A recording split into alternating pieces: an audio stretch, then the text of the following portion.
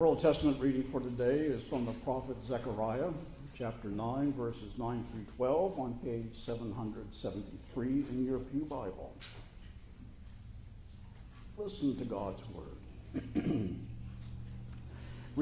uh, rejoice greatly, O daughter Zion. Shout aloud, O daughter Jerusalem. Lo, your king comes to you.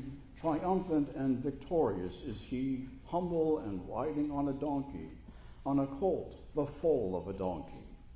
He will cut off the chariot from Ephraim and the war horse from Jerusalem, and the battle bow shall be cut off, and he shall command peace to the nations. His dominion shall be from sea to sea, and from the river to the ends of the earth. As for you also, because of the blood of my covenant with you, I will set your prisoners free from the waterless pit Return to your stronghold, O prisoners of hope. Today I declare I will restore to you double. This is the word of the Lord.